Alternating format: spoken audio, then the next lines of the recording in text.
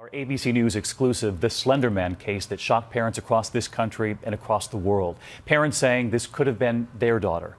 Police say two 12 year old girls stabbing their friend 19 times, leaving her in the woods to die.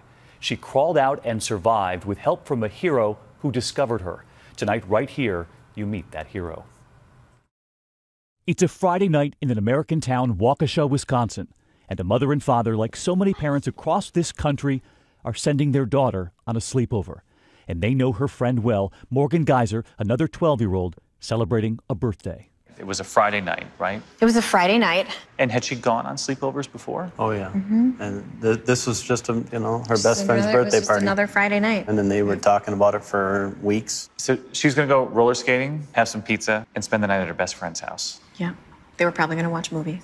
She had absolutely no idea. No, What she was walking into. no, she was she was blindsided. It is unthinkable. The first moment anyone would begin to learn of that horror was this call to 911. And just listen, at first, the operators cannot believe what they are hearing. came upon a 12 year old female. She appears to be stabbed.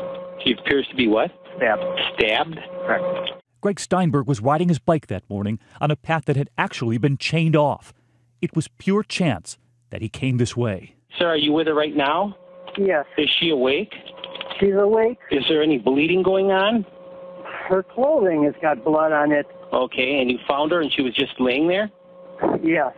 And you were biking by, and she says to you, What? Could you help me, please? I've been stabbed multiple times. I quick got out my cell phone. I was shaking and dialed 911. I just stayed with the 911 operator and I offered her water because I had a water bottle on my bike. The other thing she said was she's having trouble breathing. We have been on a journey with this extraordinary family as they retrace every step, grateful to every person along the way who helped save their daughter. Thank you. hugging the man who first found her beside the woods. And tonight, you'll meet the 12 year old girl. Her smile has finally begun to return. She takes us to her favorite place in the world and the one triumph an entire community was hoping for. It's been an incredible journey with that family. Later tonight on 2020, why did the girls do this? What they told police, trying to impress that fictional character on the internet. They were found walking to a mansion in the woods that did not exist. A special 2020 Out of the Woods tonight at 10 Eastern, and you will meet that brave 12 year old girl smiling again.